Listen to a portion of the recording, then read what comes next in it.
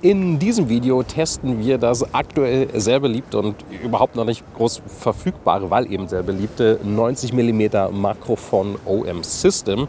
Das Objektiv hat ja nicht nur in Sachen Erwartungen, sondern auch Vorverkäufen wirklich so ziemlich sämtliche Rekorde gebrochen für so ein Makroobjektiv und schon vergleichsbares teures Makroobjektiv. Ob es dem Hype gerecht wird, das erfahrt ihr jetzt im Test.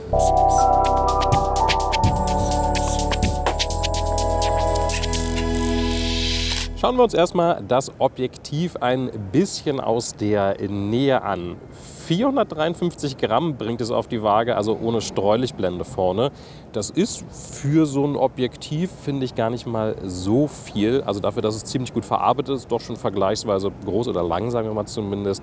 Ähm, hätten mich jetzt, glaube ich, auch 100 oder 200 Gramm mehr nicht zwingend verwundert. Also das hat man schon vergleichsweise leicht hinbekommen. Auch von der Materialwahl gut gemacht. Viel, also ihr habt so ein Teil Kunststoff dran, zum Beispiel hier bei den Bedienelementen, aber auch einiges an Metall, wo man diese schöne metallische Kälte auch noch so ein bisschen fühlen kann.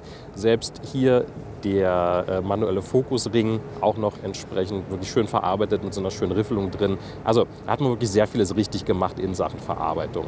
Was man direkt mitnehmen kann, manueller Fokusring. Wie kommt man zum manuellen Fokus?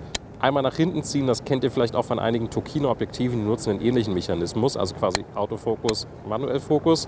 Und ihr habt dann hier auch noch die Fokusskala aufgedruckt. Sonst an Schaltern habt ihr diese FN-Taste, die ihr so halbwegs frei im Kameramenü belegen könnt. Bildstabilisator an, aus und hier oben habt ihr dann noch einen Fokus-Limiter. Die Standardposition hier mit 25 cm bis unendlich sozusagen eure Standardposition 25 cm entspricht ein 1 zu 1 Makro bis halt eben unendlich Einstellungen. In der Mitte habt ihr wieder 25 cm bis einen halben Meter. Das ist ein Abbildungsmaßstab von 1 zu 4, also quasi 1 zu 1, 1 zu 4, reiner Makrobereich. Und dann habt ihr noch diesen S-Makro. Da seid ihr dann wirklich in diesem Super-Makro drin, eine große Spezialität des Objektivs, kommen wir dann später nochmal drauf. Ihr habt hier nämlich die Möglichkeit, bis auf 22,5 cm ranzukommen und das ist dann ein Abbildungsmaßstab von 2 zu 1 und den schaltet ihr erst damit frei. Also in dieser ganz normalen Standardposition ist der noch gar nicht aktiv, damit einfach der Autofokus ein bisschen weniger Bereich zum Absuchen hat. Eigentlich ganz sinnvoll gemacht, was UM System hier anbietet. Obendran habt ihr dann, wie gesagt, die Streulichtblende mit so einem kleinen Klickschalter, um die zu arretieren. Und vorne dann noch euer 62 mm Filtergewinde. Jetzt aber natürlich zur Bildqualität des 90 mm Makro. Alles getestet an der OM System oder hier steht ja noch Olympus drauf. OM 1 kann man sich jetzt streiten, ob es das Flaggschiff ist oder ist das immer noch die EM1X. Ich weiß es nicht, sei es drum. Fangen wir erstmal an im Bildzentrum. Bei Offenblende ist es schon gut, nicht falsch verstehen, aber man sieht schon, so Richtung Blende 5, 6 ist jetzt ja nicht allzu sehr abgeblendet. Wird es halt noch mal so ein ganz klein wenig knackiger, schärfer. Also da geht halt einfach noch ein bisschen was. Ähnliches Bild am Bildrand. Das ist schon bei Offenblende 3.5 ziemlich gut. Also dafür, dass wir wirklich über die äußersten Bildecken reden, sieht das schon richtig gut aus. Aber auch hier bekommt ihr noch so ein ganz klein wenig mehr Kontrast und Detailschärfe rein, so ein bisschen Mikrokontrast, dass es halt einfach noch ein bisschen plastischer aussieht.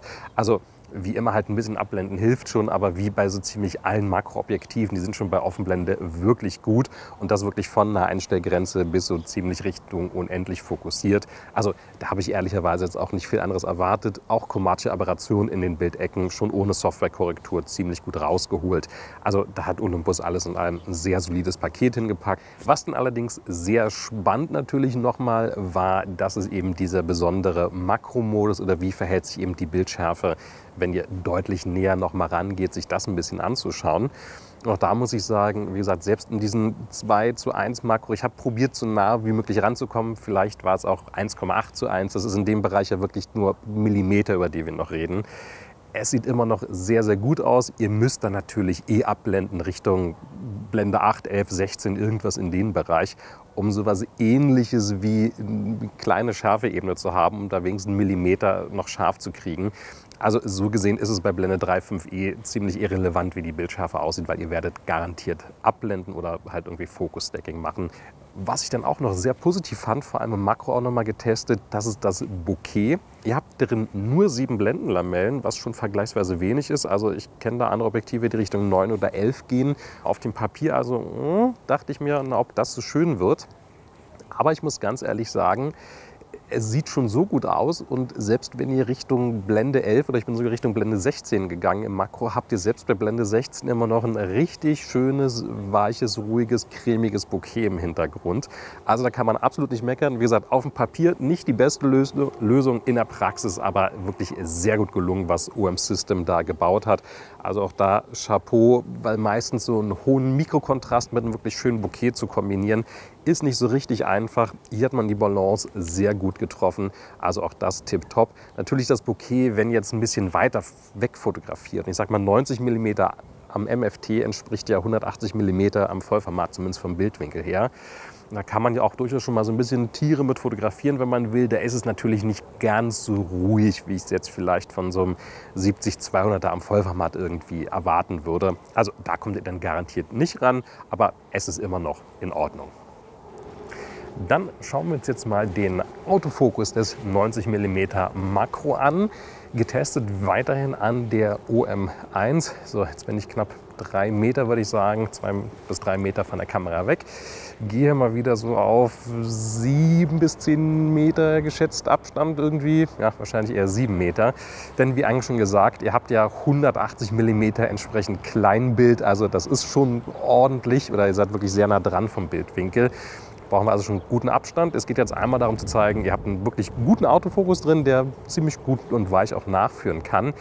B natürlich auch die Bildstabilisierung. Also ist jetzt ja einmal kombiniert im Objektiv drin plus eben die Sensorstabilisierung in der Kamera. Und das Ganze kann Olympus auch zu diesem Active IS zusammenschalten, der dann so bis zu sieben, siebeneinhalb Stufen kompensieren soll. Sah bei mir im Test auf jeden Fall schon ganz gut aus, eben wenn ihr damit auch mal filmen wollt. Also auch das könnt ihr wirklich schön nutzen.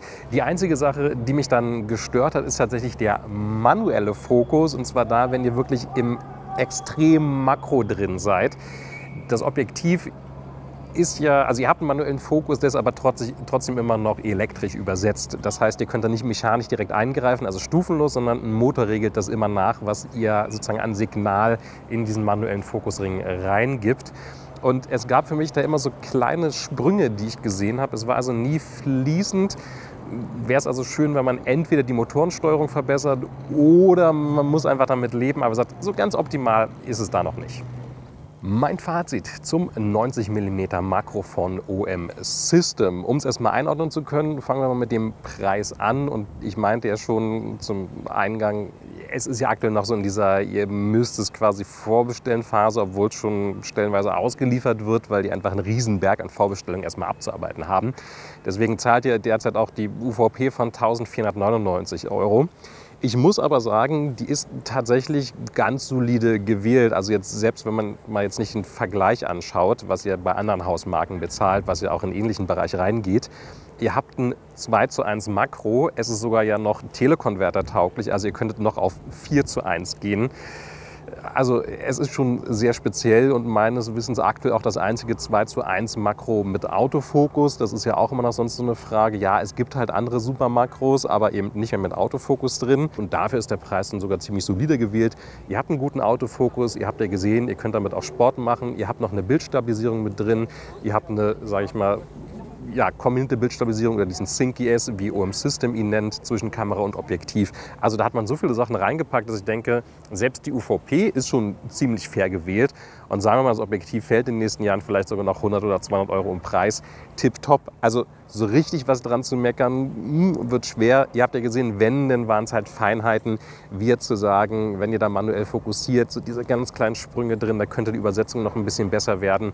Das sind aber Sachen, die man vielleicht ja, sage ich jetzt mal, auch noch mit einem Firmware-Update machen kann. Was haltet ihr von dem 90 mm Makro? Ein paar haben es vielleicht sogar schon im Einsatz, können auch noch mal so ihre ersten Erfahrungen damit gerne unten in die Kommentare reinhauen.